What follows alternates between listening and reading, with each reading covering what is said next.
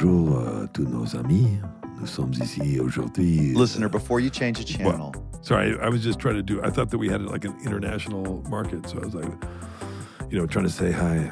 Uh, But, but now I, I could do it like this as well. Uh, welcome to Smartless. Maybe I'll come here. one I'll coffee. take one coffee, uh, cigarette, Or and my- baguette. or maybe I'll go see my mistress, and then uh, I'll hit every cliche in the book. And uh, welcome to a, it's an all new Smartless. Smart.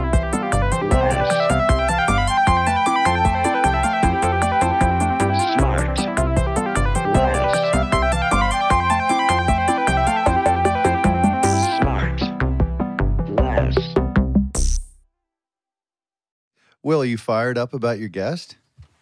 I actually, am. Oh my Yeah. God! Wait, let me guess.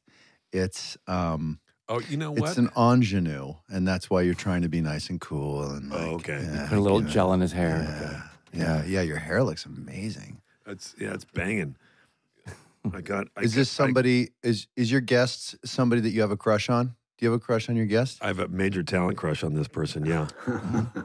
and Oh, uh, oh, don't laugh. man. Don't it's a laugh. man, Don't laugh. and he's Don't got a smoky laugh. Don't laugh. Don't Yeah. laugh. Don't laugh. Your laugh is too distinct, man. Don't laugh. Oh, Cover now he's mouth. farting. Shit. That's good. He's- Oh, High class, high class. you. No. now you guys, you'll definitely get it now. You guys. Oh my god! Uh, you, First of all, That's can gargling you, the bong water, right? go ahead, Sean. Yeah, I was Sean, going to tell you- you about my birthday dinner last night. yeah. Let's hear about. Yeah. Hey, today, happy Sean. birthday, Yeah, Sean. happy Thank you, thank Sean. you. Did you finish all the cupcakes Will and I sent you? Yes, that was incredible. I didn't finish them, but Whatever yeah. sweet treat it was. I got the se- the second I opened it. Thank you, by the way. The second I opened it, I uh, poured a glass of giant milk and I went right into it. Okay. But um, the next night, so Scotty gets this. So Scotty gets this um, reference to. I mean, I'm sorry, referral to this um, restaurant that's Oh on God. Billionaires Row in in New York City, right? You know, on 57th Central Street, Park right? South. Yeah, Or- whatever or- that is. Right? Was it Central Park South or on 57th Street? Uh, You keep calling billionaires. right? Is that what they call it now? I never used that I don't term. know. That's Yeah. what I heard. I have no idea. I'm not a billionaire. But um, so you have to get a This reservation. conversation's over. Yeah, so you have to get a reservation, right? So Scotty asked this person who asked Where this would person. you go? who's The like- Russian tea room? That's right above it, actually. Yeah. So the uh, so we go into this building. It's crazy. It's got all this security.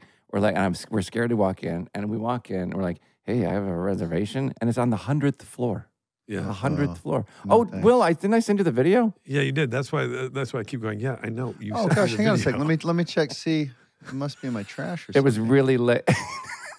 Jay, it was really late. I didn't want to disturb you. Oh. Oh wait, I'll show here. You should have looked them. They they looked like a couple of a couple of dudes who were in from Schenectady. You know what I mean? Like they, they were so excited to they're, look at the heights of this. Wait, does this restaurant rotate slowly? No, look at this, Jay. Look at this. Look at this.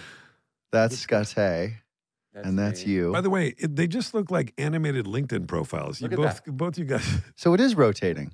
No, No, no, the the, camera's my rotating. camera's rotating. Oh. Look at that. Isn't that wild? That view. It's wild. Yeah. I never want to do it again though because it was uh, heights. I, I couldn't do it. So guess what? So I said to Sean, I, I talked to Sean before he left, and he goes, he's telling me he was going, and I said, "Are you scared?" He's like, "Yeah, I'm scared." And meanwhile, you were scared. I was so scared. I was really scared. I don't need to do that. Are you guys okay with that? I'm not okay with that. I don't like to be up that high. I don't, either. really. I don't really. The either. food was good though. Yeah. But it's kind of good for weight loss, right? You go up there, you lose your appetite, you don't really want to eat a bunch. Yeah, a little Is that bit. why you is it the restaurant's for skinny folk? Yeah. By the way, there's only five tables. Not even kidding. There we go. Because it's a restaurant for the residences. I nearly spit take on my microphone at, at the loop around to, to weight loss. Guys, this is this body's no fluke. Okay. Oh, no. I've told It you sure isn't. before. It sure isn't. Uh, that's what makes it worse is that it's by design. I know. Hey, you know what's great by design? Oh, here it comes a nice segue into a But guest. and it turns out that it's really organic. Is is a, a career that is just full of incredible performances of varying sizes and characters and Today's degrees and things. Somebody who started Sean, you will enjoy uh, because we know you love the theater. We know you're on Broadway still currently At the Belasco uh, with the Tony Award winning. hold for applause. And Tony Oscar, Warren I love you. Isn't that what it's called? for for Good Night Tabasco, the story of hot sauce. But that that Good Night Oscar and, and but so this person uh, you're gonna have you're gonna be able to get some great theater stories out of because he started in the theater. Not only he just started in the theater, he also ended up starting a theater in which he went back to and performed for you know 40 years or more uh, in this theater group a very well-known theater group he did a lot of incredible performances. Uh, eh, he's then gone on to do so many iconic roles over the years. He's made 147 feature films No way. um, Wow. He's been in some of my favorite feature films, some of my favorite performances of all time. Um, he's been uh, nominated for four Academy Awards and uh, and, and uh, Golden Globes and SAGs and all the other stuff. But for me, apart from his incredible performances in some of my favorite films, like To Live and Die in L.A. or Platoon, he was also Bobby Peru, maybe my favorite character, who I went as for Halloween once. Guys, it's Willem Dafoe. No way. That's a booking. No way. Good morning. Oh God, Willem Dafoe. Wow. I, I almost I almost pulled the the thing off the little camera. Every time you said Will, I, I reached for the thing. that made me nervous. He knows how to respond to a cue. yeah, well, yeah.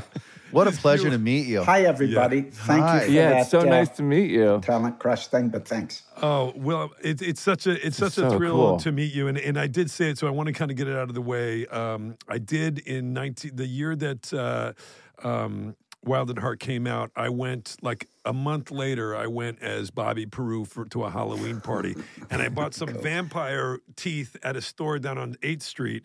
And I and I and I, I I took a lighter or something. I made him like flat and dark, and I put him in. And I wore a bolo tie and uh, and I won't say what I was what he uh, he kept saying. Um, what he kept saying like um Catchphrase? not yeah his catchphrase whatever he kept saying is like. What is it? I can smell your pussy or something. I don't know. It was terrible. It was something terrible. So that's what you were just barking all night? Yeah. And Yeah. I made a lot of friends, as you can imagine. Sure. Yeah. hey, let's go But see what this anyway, guy's so I want to get that out of the way. But but Willem Dafoe, what a thrill to meet you, man. Great, is thanks. so thanks. cool. Yeah. Yeah, it's nice um, to be here. We have no questions. We have no questions. okay, ciao. no, we do. So, so it's true, right? I was right in, in the intro, Willem, that you started. Let's start at the beginning. You started in the theater. I know that you're you're from Wisconsin, and then you moved to New York, and you got immediate. Well, you were doing sort of theater in Wisconsin, and Milwaukee, in, in some Right. avant-garde theater, and then you moved to New York and started doing that there. Is that? Am I right in that? That's right. That's right. I still do theater, but less because for many years I had a company. So every day I was going into work, you know, Yeah, yeah. the way, you know, regular people do. Yeah. Um, you know, really, every day that I wasn't on a movie set, I was either um, at the theater working or we were on tour. It was really uh, a whole life. Um, one thing that's worth mentioning, yeah, I did start uh, doing theater in Milwaukee with a, a small group called Theater X. But then when I moved to New York, because I had ants in my pants and ambition, and and also it was a time where a lot of things were happening in New York, and I felt like I wanted to be there, particularly the music scene. Not that I'm a musician, but it felt like stuff was going on. Uh, so I went there, but I, I think it's fun to tell you that I really intended to be, uh, you know, conventional theater actor, you know, audition and all that. But second- what year was this? that's well. Initially, I initially I went in '75, but then this company in Milwaukee that had seen me in my brief period at school called me back to go on tour with them, and I did. For I I worked with them for a couple of years. They were called Theater X. They had a it was a company run small company. We did original work, which was very un, uh, cool. Uh, we toured mostly internationally, not so much in the states, and. Uh, Wow. yeah, uh, that's what I Ju- did. for just couple doing years. doing a bunch of different plays or Uh, we were making plays, you know, Yeah. generally. ri- Or originals? uh, we had a writer that worked with us, and uh, occasionally we'd do plays, but they were kind of unconventional. Um, Where were you going internationally? You just you take your merry band of uh, actors. mostly just- Germany and uh, Holland at the time. There was a very good place called the Mickery in Amsterdam, and they, they- it was really where I got my education because they brought in theater. They had lots of money, and uh, they brought theater from all over the world.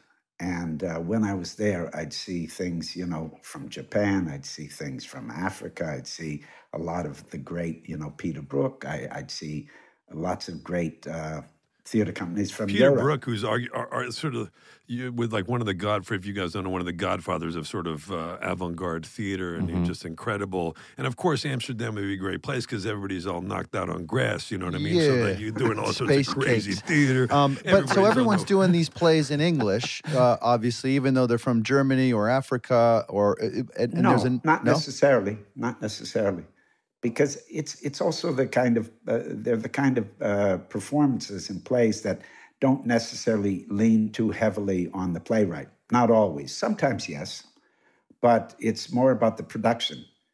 Uh, you know, uh, because it's a theater that is more based on you know other elements, not not just on the playwright and.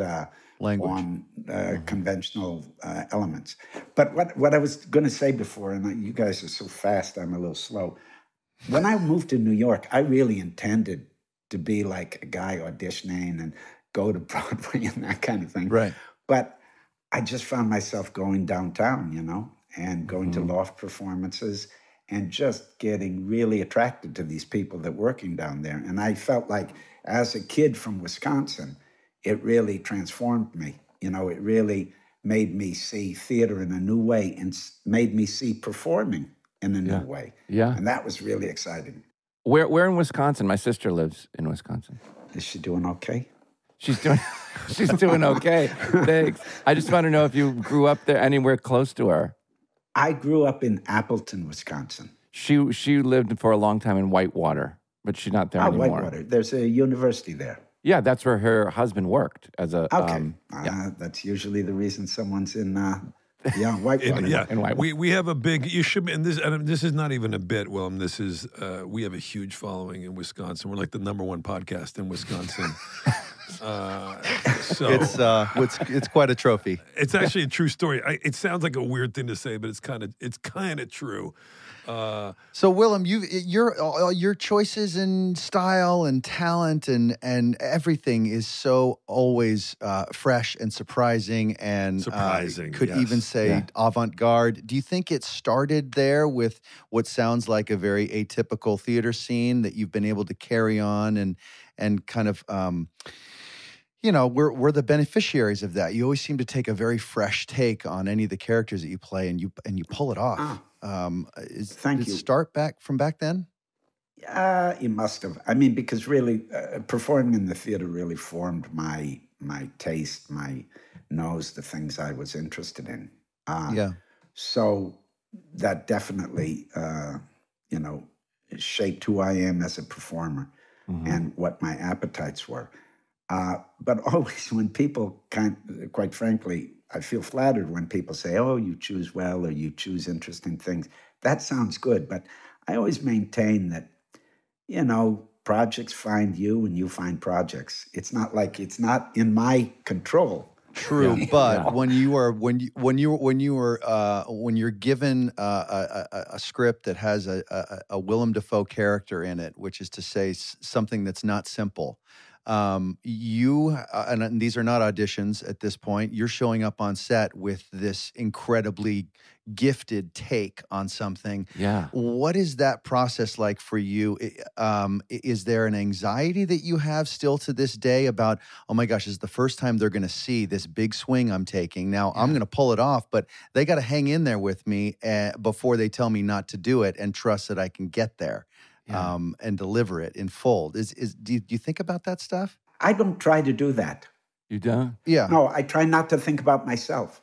I hide behind other people. Yeah. Yeah. like directors are very important for me.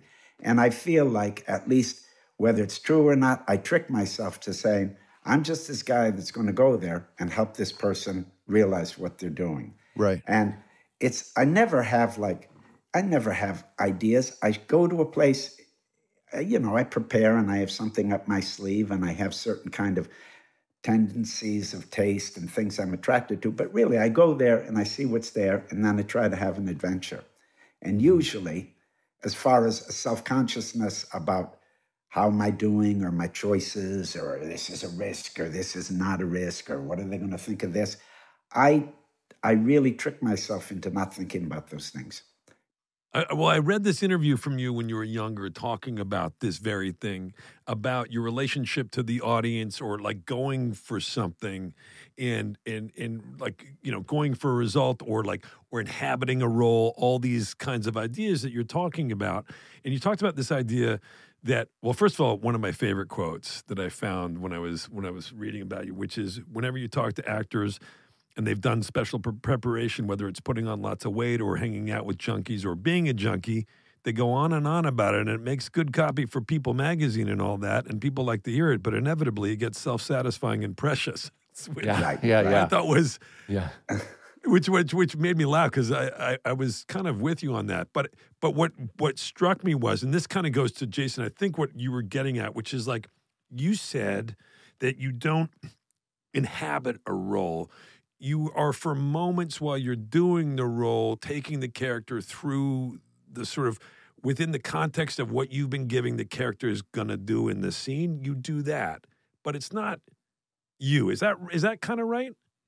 Well, it's all me because it's not anybody else. But, you know, you, you kind of figure we're all people. We have the capacity to be all people.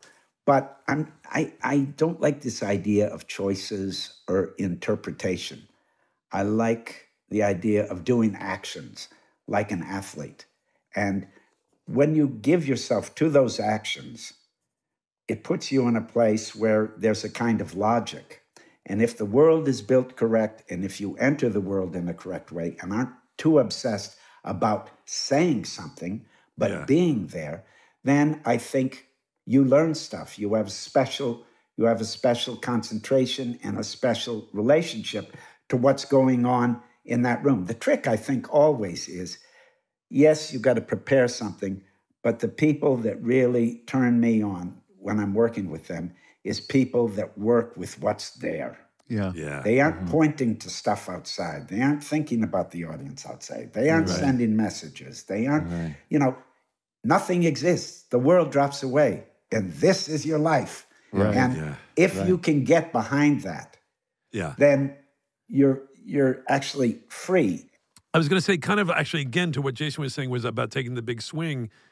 I guess you feel free if you're not worried about, because I, I, yeah, I agree. You're not, if you're not worried, if you're not encumbered by that thought of taking a big swing, because in your mind, there is no swing. You're just being in the moment, right? Yeah. That's one way to think about it. You know, it's it's funny. Everybody's different, and Yeah. you know, you touch different buttons, and you're interested in different things. I like all kinds of performances. So when I say this stuff, it's not a right way to be. I'm trying to figure out what makes me tick in this context. You know, so I'm just trying on some stuff for size, not to create a, a method, but really to think about. Um, what the consistent things are when I enter a movie or I do a play or something, or what performing is about for me. Have you ever have you ever showed up on a set to all of this point? Have you ever showed up with taking a swing? All you did all this prep, and the first take happened, and the director goes, "Can I talk to you for a minute?" and uh, more, more or less. Well, And yeah, can I we was. go for a walk? yeah, I was gonna say, uh, yeah. On that, how, how, do you? Uh, and, and and I obviously meant no disrespect. It was saying uh, big swings, but like there are only a few actors. You are one of those few that can take a swing that is something we've never seen before or imagined and completely execute it flawlessly. Uh, Is do you have conversations with the director in rehearsals where at least they get some sort of a uh, a, a- a conversation or maybe even a creative negotiation to make sure that that particular take on the character fits into Yeah. the other many, many plans that a Yeah. director has for that film as far as tone goes, what the other actors are going to be doing, what the what the shape of it creatively is going to be, to make sure you're in line with that before you get on the set. Yeah, you bring up something interesting to me. And, you know, you don't have those conversations, you kind of intuit it. Yeah. But I'm really struck by, you know, the beauty of making movies or, or doing plays is every time it's different. Yeah. So it's very important. Part of your job is to look around, see who's there, see how they work, see what their tendencies are, see what the world is, and fold in. Oh, that's wonderful. Yeah, You because know? so many so many people decide how they're going to do the part before they even see what everyone else is, and the fact that you're malleable is that's amazing. That's the theory, anyway. Maybe I'm not. but but but Willem, do you ever kind of to that? Do you ever come in and then go like, okay, so wait, so I had like Jason was saying, like I have this idea, I come in, and then you go like, oh, everybody's kind of here, like, okay, well maybe I'm gonna kind of shed a little bit of that. Yeah. Now I'm gonna kind of move it this way, like Yeah. in the moment. Absolutely. that's- Absolutely. that's cool. But I don't come with too many ideas. I don't, believe that. no, no. Yeah. Really. Listen, sometimes you read a script and sometimes you say, wow, I have special information on this. I want to be there for this. Yeah. Or this is so far away from me. I got to do some research. I got to do something. I got to go through something to, you know, be in this world. Yeah. And and both are good. Both are So good. wait, Jason, I have a question for Jason. Have hmm. you ever been in a situation as a director where we're talking about this, where somebody, where you're the person, you're the director, is like, can I talk to you for a minute? You're doing great. Listen, uh, we are thinking about maybe, like, have you ever had that experience, and what do you do about that? Yeah, it's it's um well there I mean I'm sure we've all been part of these conversations where there's sort of a, a delicate tonal conversation Yeah. because there is no bad, you know, there but there are just different flavors. You know, you can have like a, a Mel Brooks type of comedy or you can have like a Woody Allen type of comedy. They're both Mhm. tonally very, very different.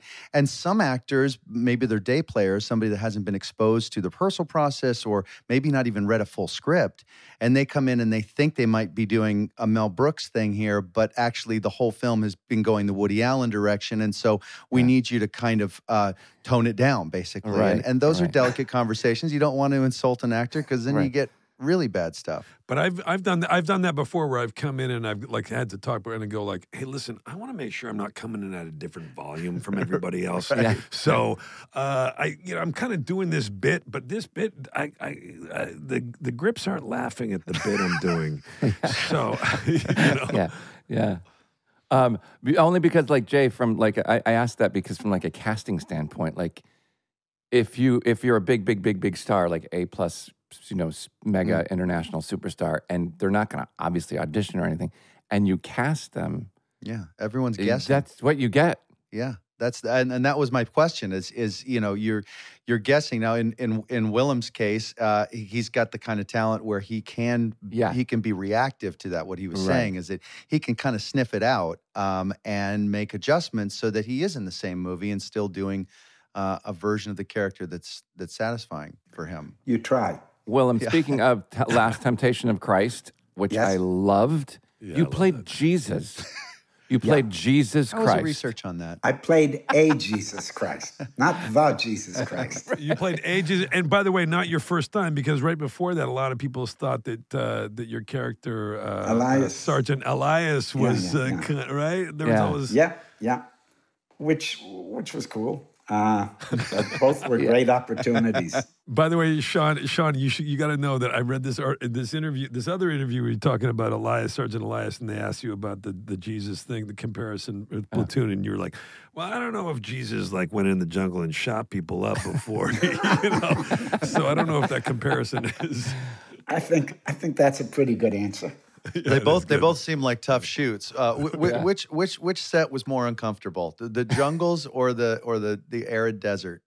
Listen, they were very different because of what my role was, but they were both great because they were full on. Both the both of them were extremely low budget movies. People really? don't expect that of Last Temptation of Christ, but that was made for a nickel. Yeah. Wow. And both of them were about as far from Hollywood as you could get in terms of no trailers, no very little makeup, uh, no, you know, you dressed yourself. You showed up and were in the jungle, or you showed up, you were in the desert. Yeah. And uh, they all had modest uh, schedules and uh, modest frills, and uh, you, you just shot away. And both were full immersion. So that always helps you because if you're in it, you can't be out of it.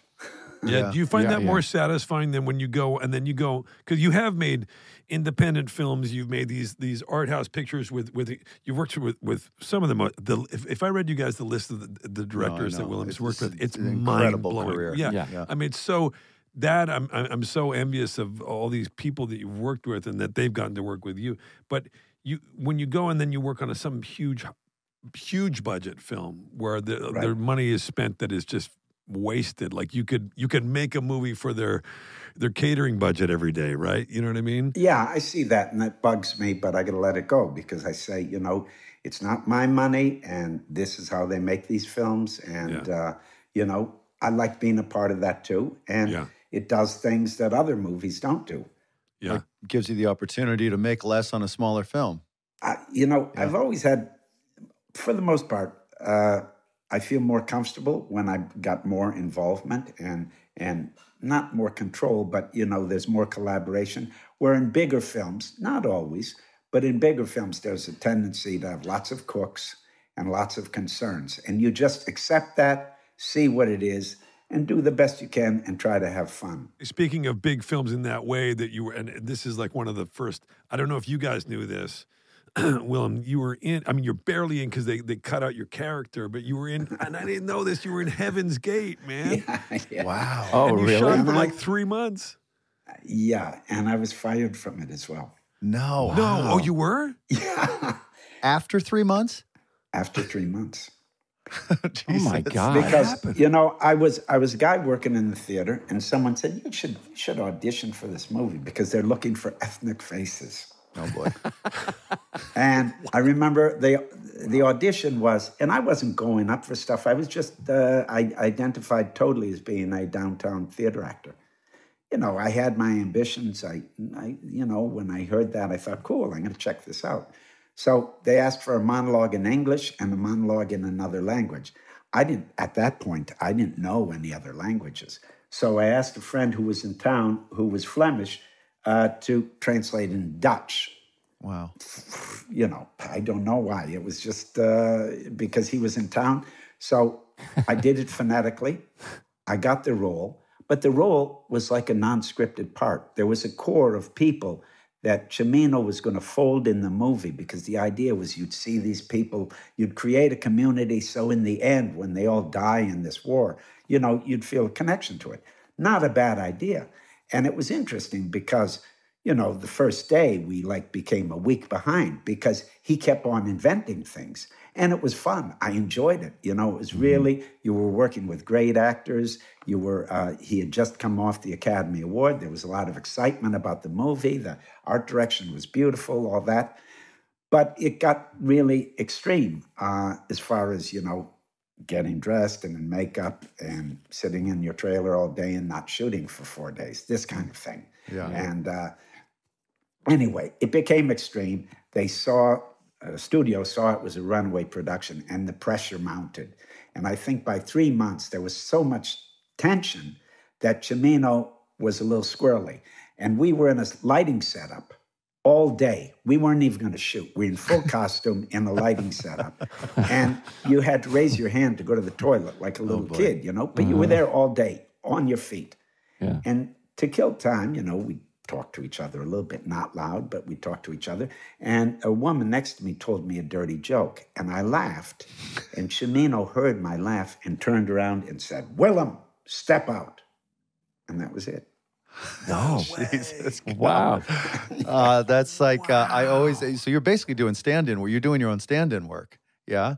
Oh, yeah. Because they were lighting the shot. but I'm good with that. You know what? I always But it's a very hard thing to do to to do well. I they it's a very it's a it's a it's a real talent to stand there, stare at another actor's face, not say a word, Yeah. don't play on your phone, stand still, so that they can light the shot for a half an hour. It's uh, it's a lot of discipline. I really admire that they're Listen, able to do I always so well. stand in for myself, and I must also say, and I'm bragging here, I don't ever bring a phone to set. Really? Yeah. Wow. No, Good not allowed. you. Yeah. Not allowed. Takes you out. right. Yeah. I, I Takes I you out that. for sure. So, Willem, um, tell me, I, I, ca- I have to, uh, I always ask people who come on that have a theater background, do you have a theater nightmare story that we would love? I have tons of them. Something that went horribly wrong, something that you'll never forget. man, this is the story of the Wooster Group. I mean, it was exciting, but we always had lots of problems and, and with touring. And uh, I think, I'm trying to think, there's so many, so many. I think uh, we did one burlesque. Uh, my partner at the time was the director, and she, her father died, and we stopped work on a piece and needed to do something light and easy. So we decided to do a dance piece, uh, which we called a record album inter- uh, interpretation. And we took a an old Hawaiian record from the 50s, really corny, you know, Hawaiian music. And we got some grass skirts and some leis and and someone painted a backdrop and we invented these dances. We just made them up. Mm-hmm. And we'd do the dances to this music, you know? And between a woman elegantly dressed would give a little instruction, you know, to give it a cultural context. Well, anyway, the gag was to make it stick under our grass skirts, we weren't wearing anything. and you go. also, it was two men and a woman, and she was also not wearing anything and bare breasted. Well, we did this show. It was very popular. Sure. It was a little chamber piece, but very popular. Yeah. And at the time, someone said, Would you come and do like one number at a party?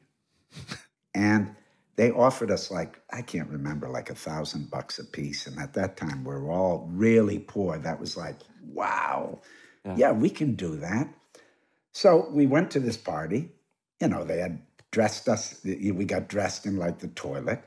And then we came out without the set, only with the music and with our non costumes. And we did this dance, you know? And, uh, They started throwing singles at you. at the end, yeah, people started coming up and saying, "Okay, let's go. Yeah. Come with me." They thought we were like uh, a s- strippergram and then some, you know. Yeah. Wow.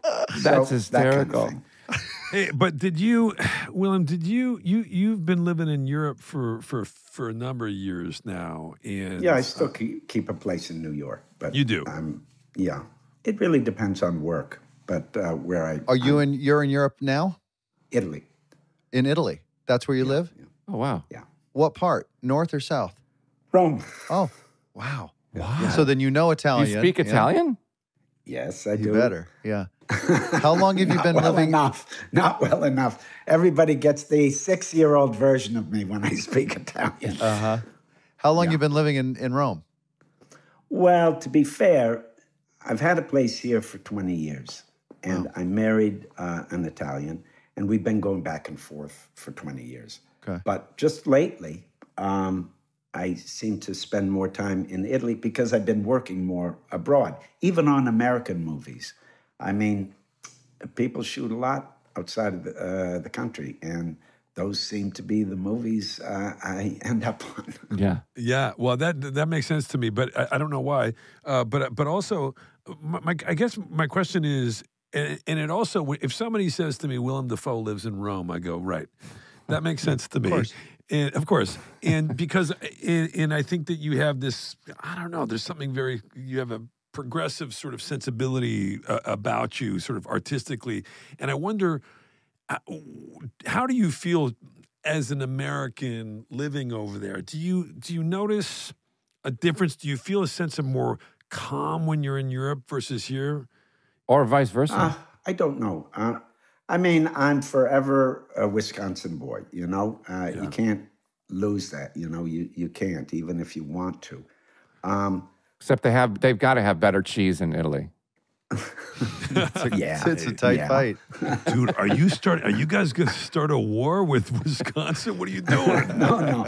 Uh, let's let's stop it right there. I don't eat much cheese. I'm one of those guys. Okay.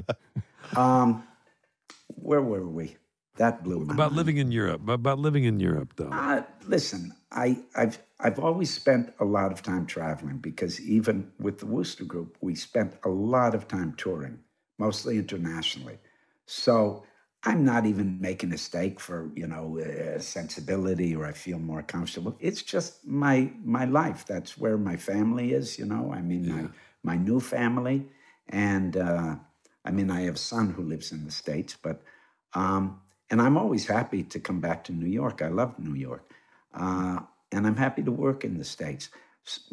I don't know. I, I always feel a little bit like an immigrant here, partly because of the language.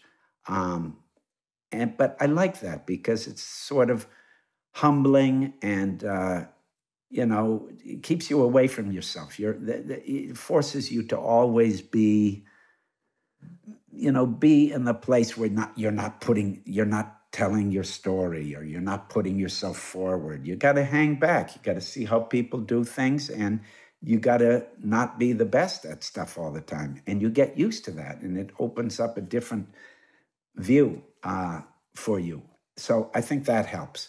So in some ways, I love it because once again, it's like a mask. It's something to hide behind. Mm-hmm. But also, it takes a certain kind of ego pressure off, and you learn how to be an idiot. Uh, that's like like beautiful. recently i Yeah. just i just did something where um well anytime i deal with like italian uh, workmen or something you know they defer to my wife because she speaks so much better than i do and i'm like the idiot you know Yeah.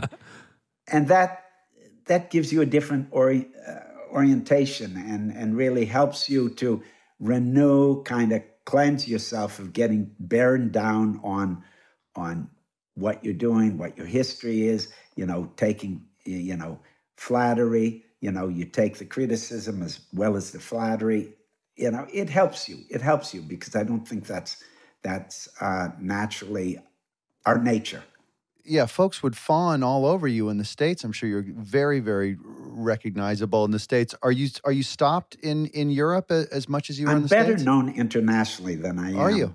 Wow. Uh, in the States. But you'd make something like Spider Man uh, Yeah. movie, and it's so widely seen that Sure. Right. for a lot of people, that's your. Um, that's what you get recognized for. Willem, your your original your uh, your first name is actually William, and Willem was a, a nickname. Yeah. oh, really? Yeah. And people are always curious about that because they think it reveals something, you know. And Yeah. And like there's a there's a time I, I was interviewed on a TV show. I can't remember. I think it was Jimmy Fallon or something. And this was brought up. And it gets lots of clicks. It mm. gets lots of visits on that YouTube thing. People really are fascinated by that. They're like, "Oh, you're busted. You've been telling us you, you got a fake name, you know? Yeah. It's crazy.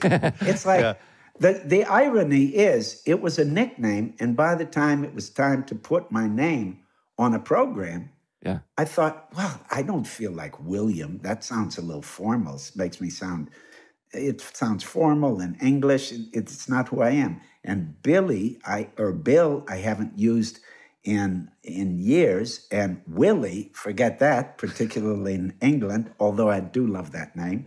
So I say, okay, I'm Willem Dafoe, you know. So then to to choose my birth name then almost feels like a stage name. Yeah. Right. Right. Hey, Willem, uh, let- let's just, sorry, go back to Bobby Peru for a second Sure. because I love Wild at Heart and I love that character. Right, right. Mhm. And it has one of my favorite scenes in film history, actually, is when.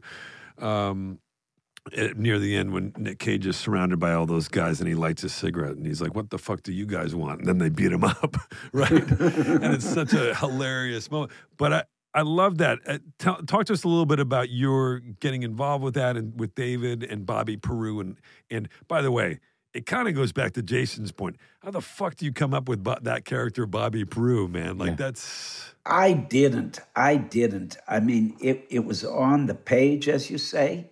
And also, I like that movie a lot. And Bobby Peru is a magical character for me. And there are some beautiful scenes in there. The writing was great.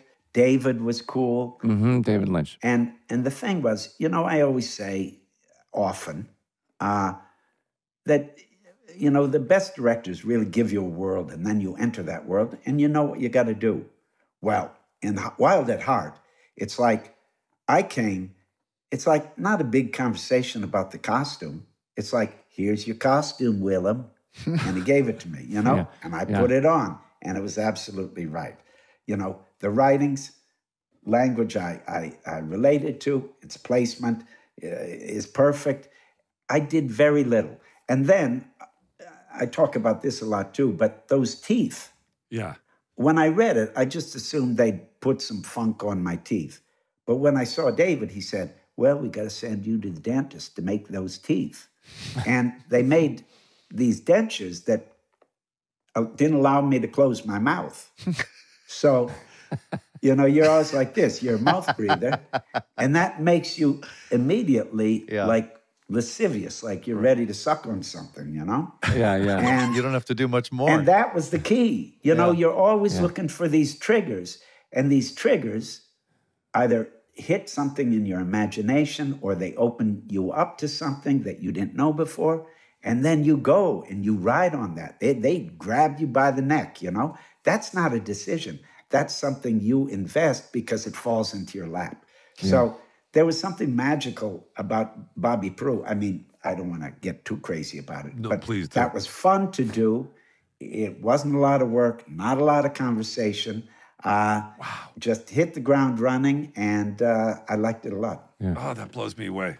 When when you're are you the type of actor that when you're walking around just living your daily life um, you're keeping both eyes wide open to uh, to absorb certain caricatures or traits of interesting people and kind of put it in your back pocket and just like No, i mean I, I don't mean it as contrived as that but more just like No, no, listen, I probably was like that when I was younger, but now I'm just trying so hard to be a better person. Sure, but- but- and be a fuller person that that feeds into it. Yes, and I, I don't I don't think that those things are mutually exclusive. In that I, it seems like you are you you love people, you love mankind, you think people are really interesting, and I'm social. right? And you're trying to always keep yourself kind of growing and whatnot. And and as you said earlier, you're all all these parts are always a part of you. And so just by expanding you, you're widening your abilities and and your spectrum of characters that you can play. The older you get, is uh, and the uh, question. Yeah, I- I think you know. It's like I, I was at I was doing a film in London, and the, just the other day, and I went to the Tate Modern. I had some time off. I thought, what do I do, you know, uh, today? And I walked to the Tate Modern. You know, it took me like an hour and a half where I was where I was staying. Yeah. And I went there, and there was a exhibit up, and there was a thing about what's her name? Damn, Alice Neel. I paint my time using the people as evidence, Aha. Wow. Yeah. and that was uh, there was something good about that. And I think, you know, we're here as witnesses. We inhabit these things. They aren't us. You know, uh, film, television, these things where we come together to make these things. They're so collaborative that you know you just you just put it out there, and it's a reflection of your experience. It's not even an explanation of your experience a lot of time. That's why I get crazy about interpretation sometimes. You know, be there to have it happen. It loved to happen. Marcus Aurelius, right?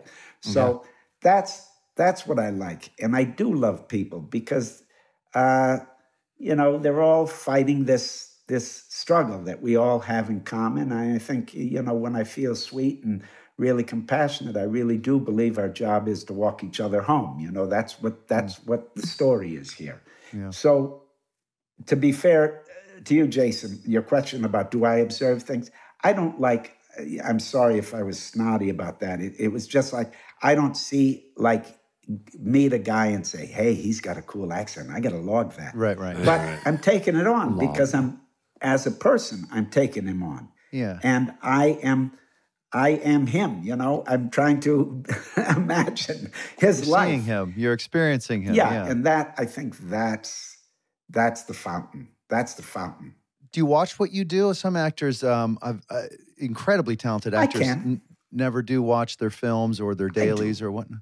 I do, but I don't go back. You Sure. know, I mean, I watch them when they come out. You know, like, um, you know, I, I, you know, when you have to do press for something, Yeah.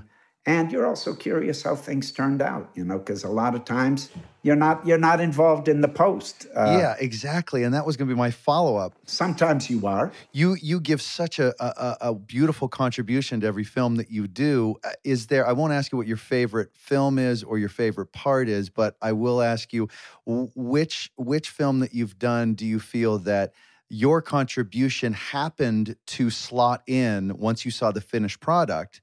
Uh, a lot of the execution you you weren't there for because the director finishes things up later. That you were most excited about, like, oh, that ended up fitting in a really satisfying way to me as an audience member.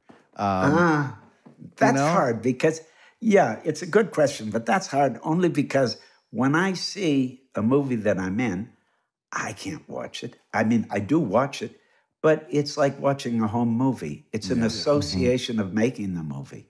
Yeah. It always happens to me. It's very rare. It. I, I will say there are exceptions. Like I recently saw uh, Poor Things, this Yorgos Lanthimos film, movie that isn't out yet. Oh, What a great filmmaker he is. And that's one of the few times I saw the movie, and maybe it's because I have prosthetics and all that, where I didn't see myself. And I didn't remember because there's a lot of fantastical stuff in post done.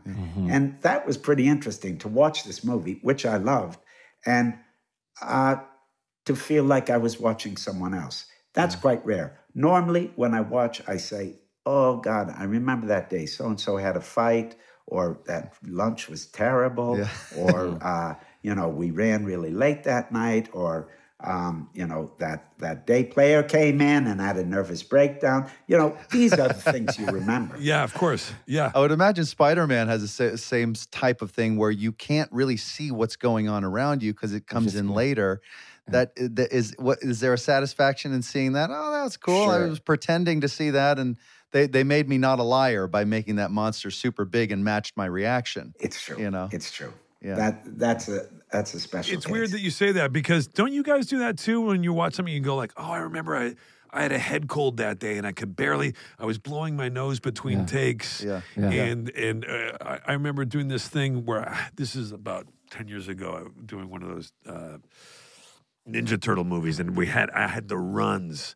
I had like a stomach virus. Yeah. And, Great. and the director says, "Yeah, great. I've never told this story." And the director says, uh, "We were doing reshoots, and I had to run with Megan Fox. We had to run across this parking lot. And the guy's like, "Okay, you're going to jump out of the thing, and you guys got to run across the parking lot." And I said, and I go, "Man, I'm not running anywhere." I said, "If Stuck in my pants. I said, I can barely." And we both had it. And I said, "If I if Oh, I move from this thing."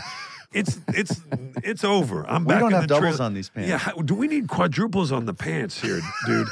so I go, I can get out of the van and I can talk here and I can maybe slowly walk and you got to fucking cover me. You can't even get a wide because you can't see how I'm walking. Otherwise, you're going to know that I'm, you know what I mean? Yeah. But those are the things I remember when I watch it. I go, oh, that was when I had the runs. Diarrhea. Uh-huh. My advice: always keep a bucket close by, nice. I just wrote that Just down. in, just in general. because I like to stay on the set. wow. I don't want to leave. Wow. Maybe you can cut that out. Get No. loose. No, no, get, get loose, get loose. Oh, By the way, it. I love it. And you know, Willem, we have a mutual friend who's a big friend of the podcast who said, uh, I said, you know, I, he's like, you got to get Willem is Bradley. Uh, Ah, Cooper. Bradley, sure, Yeah, sure. we had a good time. And I, I kept in touch with him, and we've seen each other since. And he's always has something interesting to say or interesting to show. Or He Yeah. loves you. He loves you, man. no, And, we uh, had a good time, and uh, yeah, I, I, I enjoy seeing him. what, what did you? What did you? Um, you made this. You've made a few movies with Wes Anderson, right? And now you're Yeah. in this asteroid city. But really, a cameo. I mean, that's not an apology. It's just a fact. Okay. an explanation, an explanation, if you will. Uh, But uh, but uh, uh, what is that relationship with with uh, e- notwithstanding just being a, a- a cameo uh, with Wes Anderson and his films and you know, I it started my first film. I think I've made five with him, and you know, in varying degrees of, you know, some are bigger roles, some are cameos, but it started with uh, Life Aquatic, yeah. and that actually is what brought me to Rome because I met my wife on that shoot Oh wow. oh wow. in Rome. So that kind of changed my life. Um, but Life Aquatic was so much fun. And it was basically kind of like Heaven's Gate in the fact that it was a role that was barely scripted. Well, it was scripted, but he kept on sliding thing, me into things. And then we kind of inventing stuff. And that was really, really fun. And I like Life Aquatic a lot. It's, it's Me too. I like Life Aquatic. it's kind of that slippery for a long, uh, long, for a lot of the movie, but at the end, surprisingly, it has an emotional effect. I Mm. think that sneaks up on you, and I love when you're able to do that in a movie. Something where you think, ah, this is fun, it's goofy, you know, you're kind of following it, and then it slaps you across the face, or Yeah. really, you know, lets you know what all that led up to. That's very cool. Uh, so I worked with him on Life Aquatic, you know, just adored him. So when, uh, you know, when you have a good thing, you know, whether it's Robert Eggers or Abel Ferrara or Paul Schrader, when you have a good thing, you know, at the end, I just worked with Tim Burton, you know, and uh, you say, hey, that was fun. Let's do it again. And they call you again. Do you have? We sometimes we, we we talk about this all the time. The three of us do, uh, in- uh, and on the show and stuff. Do you do you have like goals in mind? Uh, When I mean goals, I mean stuff that you go like, I want to go and do something something like this. Mm-hmm. I want to work on a project like this, or Not so uh, much. that you. No, huh? No, you know, and and Why as I say, directors are very important because because it's probably why I'm not a director. Okay, and that is, I I like going towards something. I don't like have an idea and then I want to accomplish it. You know, I like being put in a situation and have to flirt, punch, kick, slide my way out of it. Because I think for me, that suits me. I mean, I like doing that. But if what if you say, oh, you know, I'd really like to play a union organizer, or I'd really like to play Joe Stalin, or I'd really like to play, you know, Reverend Moon or something, you know, uh, it kind of finish completes itself because you have this idea and it's like your idea i suppose you could pursue it and it would change but i'd rather i really like attaching myself to someone else's idea and then it's like somehow they take the responsibility. And you can be irresponsible as an actor. You're terrifically responsible to performing because you want to be there. Anything else just doesn't work. It's an opportunity. It's a blessing to be able to be given this situation where you have this super supercharged consciousness you know because when you're performing in the best of situations you're more alive than you are in life sometimes hmm. it's sad but you know what i'm talking about Yeah, yeah. all of you know what i'm talking No, about of course. so you look for those situations. And to get those situations, I don't think you can set yourself up. You've got to be surprised and you got to work from a place of not knowing initially. And then you go towards something and then you learn something and that changes how you think. And that, that change of thinking opens your door to like be born as a new person. And then you apply that energy, that kind of mind blowing newness to what you're doing. And if all the stars align and if everything's correct and you don't get distracted or you don't shoot yourself in the foot or you don't get full of yourself and all these little temptations and and things to fuck you up then mm-hmm. you you got something you know? And is it something to sell? Is it something that people love? You don't know but i always trust that i'm not a martian. So on somewhere if i'm something's happening to me and it's transparent enough that someone can identify with it or can go with me on that trip you know Yeah. then it's it's worth doing it's worth doing. Sean, Sean, you you can't believe the disappointment on Sean's face when he found out you weren't a Martian, um, because he just loves. Sean right? loves Sean, he sci-fi. just- He loves outer Willem, space. Willem, when you're not when you're and when you're not doing your your your work, your acting work, um, what is your next favorite thing to do? Um, do you have a hobby that that you're super passionate about? I don't have hobbies. I'm. I feel like I'm always preparing for something. Yeah. I try to be. Um, I have certain disciplines that I do daily, you know, and also I have a farm now, so I I never had animals or pets or anything like that, but now I have lots of animals and I Wow. grow my own food. So. Oh, that's so That's cool. great. Wow. So that's a big deal. So it marries it marries that kind of the simple tasks of of doing like chores and and cultivating things and eating out of uh, your own place. You know. Yeah. Yeah. Are you? Is that in Italy that you're doing that? Will? Yeah, yeah. But the animals are a big deal, and I, we don't eat them because I'm basically a vegetarian, and uh, we keep them. And sometimes I check myself on this: is this really correct? But you know, we try to give them a good life, and we try to enjoy them, and they're a beautiful reminder. Uh, you know, they connect you to nature, and when you can be connected to nature, I think you can be connected to things beyond this life. Yeah. Yeah, amen. What, what's your favorite thing to do with the with uh, with the animals? Are you milking cows? Are you are you grabbing eggs from chickens? I or- don't milk cows. Um, I, I do I do take care of chickens. I, I've I've got uh, alpacas, Yeah, and they're the sweetest animals in the world. But it's Yeah. challenging because they're they're a little delicate. And like today, I was nursing one who was sick, and I was very, uh, you know, I worry more about these animals. It sounds messed up, and this is why I never had animals before. And I thought people that were so attached to their animals were sick, but.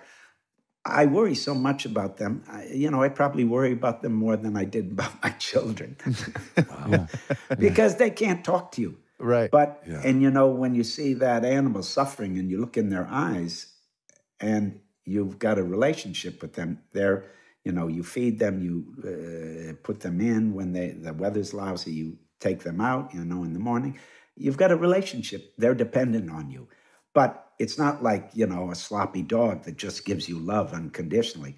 These uh, like these alpacas are very regal and they're uh, they're very sensitive and they're gorgeous. But sometimes I wonder, ah, is this, you know, maybe they should just be in the wild. But I try to give them a good life. Could be hostile out there though. That's true. That's true. And it can be hostile here. We've got we've got wolves, we've got foxes, we've Yeah. got uh, lots of boars. You know, uh, stuff happens. The other Boars, day, a fox took five of my chickens. I got to work with these two boars every day. Hey, listen, um, spelled, spelled a little differently. Uh, uh, Willem, I know Willem. You know, I, I've never told anybody about the farm. I've really laid low on that. So I, I like the way you speak about it. It sounds wonderful. Yeah, it doesn't me it too, doesn't me sound too. No, it's important. braggy or anything. okay. No, it's it's awesome, Willem. What I was going to say was, and I was going to say this earlier, but it really came out in that thing is, I like the way that you talk about. It's kind of like the way that you talk about working on something or or a character, or the way you break it down, or not break it down, or just allow yourself to be. It's kind of like that's your lesson that you bring to your life. You're you. It seems like you're really honest with yourself about, or you hold yourself accountable often. The way that you talk about it, and I, I like that. I respond to that. I like that idea of being honest. here? Hang on, I got a guest. I know we're almost finished, but hang on. I hope second. it's an alpaca. Please be an alpaca. Hey, hey, oh. You want to see a beautiful dog? Yeah. Just real quick. Yes. I love this dog. yeah. Can you see him?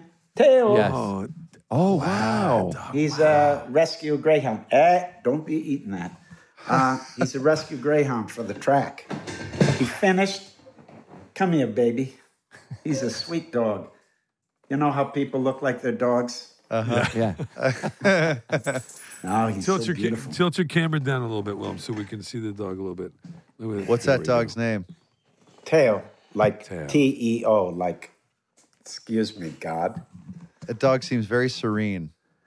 Yeah. Ah, he's had a tough, tough life when he arrived. He, you know, obviously they don't treat them so well at the track because the bottom line is they got to run, run, run, run, run. Yeah. And uh, now he's, they, they're like cats, really. They sleep a lot. When they go, they go, but most of the time, and they're very, they're very aloof. Um, they aren't sloppy, you know. They're very regal. Mm-hmm. wow. Anyway, Man, man, I tell you, I, I tell you what, Willem, I, we could, I could just talk to you. The more I talk to you, the more I want to talk to you. I, I, I'm, I've been, a, I've been a, such a fan of yours for so long, and I Thank you. just, I love everything you do, Likewise. and, Yeah. just keep doing it. And you're so authentic, and, and yeah, I, I, I have nothing to say other than just thank you for doing this and spending Yeah. this time with us. Yeah. Thanks Sure. for being Thank with you, us, Willem. Willem. I hope, uh, yeah, I, I hope it comes off kind of easy and warm like It was a uh, great conversation. like talking. Yeah. Okay. No, no, when you perfect. come when you come to the states again, we'll swap more theater stories. All right. I think I'm going to be there in, in September because we, we're going to do some promotion for this uh, Poor Things that comes out, which is. I can't wait Oh, to see that. I can't wait Can't to wait see to see that. that. He's Yeah. such a Yeah, great he's director. incredible. Uh, oh. He's fantastic. And I worked with him a second time since. Oh, yeah? On a, another film, yeah, called And. And that was funny because we were shooting in New Orleans and like the Spider Man crowd would come up and say, Hey, what are you doing here? And I'd say, Well, I'm making a film. And they'd say, Well, yeah, what's it called?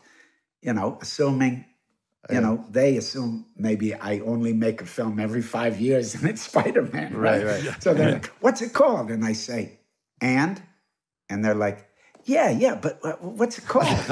Yeah, say, exactly. And? And they're like, no, "Yeah, no man, other but, questions, uh, just yeah." that. This goes on and on and on. So finally, I learned, you know, yeah, I'm shooting a film here. What's it called? Untitled. Yeah. yeah. That's smart. oh man. Well, again, thank you, Will, and what an honor and what, Sure. what a treat to talk to you. Good. Nice, nice talking to you. And I listened to a couple of your podcasts, and uh, I really enjoyed it. Thank well, you, thanks. sir. We enjoyed you. Yeah. Will. So Thank you uh, very keep up the good work and keep up your good work. Okay. Thanks, Will. Thank you, Thank buddy. you, pal. See you, Yeah. pal. Bye-bye. See you later. Ciao. Thanks. Bye. Bye. Bye. Wow. Wow. Yeah, that's a that's a a, a nice uh, a nice, Nice, uh, full person. guest there. Yeah. Yeah. Right? Nice, full person. Everything. I, I, I was really, especially at the end there, I started to realize that, like, and we he's, we were interrupted by by uh, Teo, um, the track dog. Um, but but all jokes aside, Willem is just one of those guys who just seems so authentic. And hearing him talk about his life, and what I was going to say is like.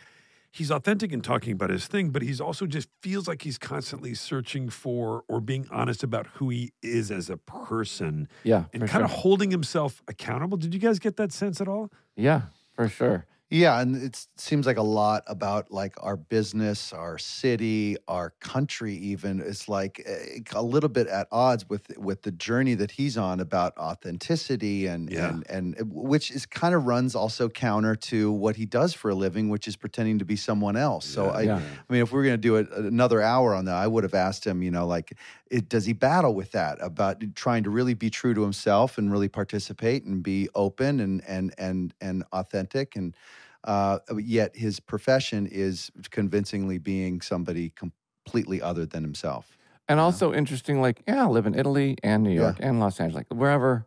Uh, I Yeah, couldn't do like it. But I'd have to vagabond. what like do you mean you couldn't do it? You're doing it. no, but Yeah. I mean I can't like just go live in another country and Yeah, then you be can. okay with You're- that and then come back here. You're and- Upper East Side instead of uh, You're Upper West Hancock Side. Park. You know, I'm not yeah. Upper East Yeah, that's that's He's a Upper wild West- Upper difference. You West having Side. to No. go to. Uh, no. Delmonico's, or what's the name of that uh, market over there? Instead of Whole Zabar's? Foods, that's tough. yeah. What do you- Maybe guys. Maybe when you come here, You, you come can to the city, we can stop. stop.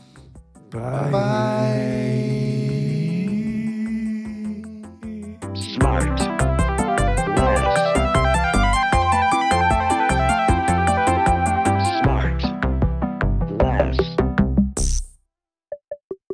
Smartless is 100% organic and artisanally handcrafted by Michael Grant Terry, Rob Armjarv, and Bennett Barbakow.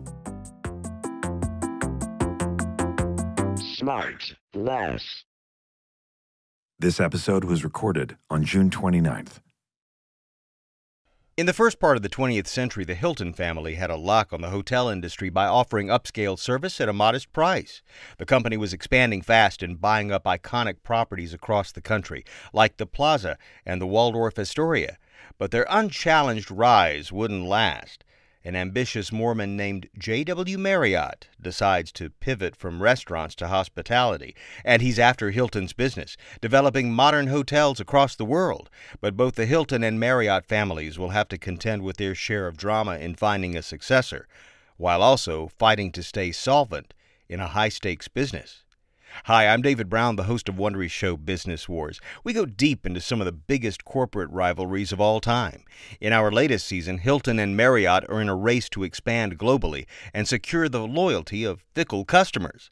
Make sure to follow Business Wars wherever you get your podcasts. You can listen ad-free on the Amazon Music or Wondery app.